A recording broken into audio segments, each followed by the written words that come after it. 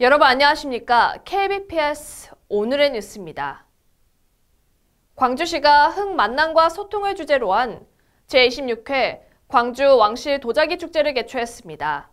이날 방세환 광주시장은 축제 기간 동안 안전한 축제가 될 수 있도록 최선을 다하겠다고 밝혔습니다.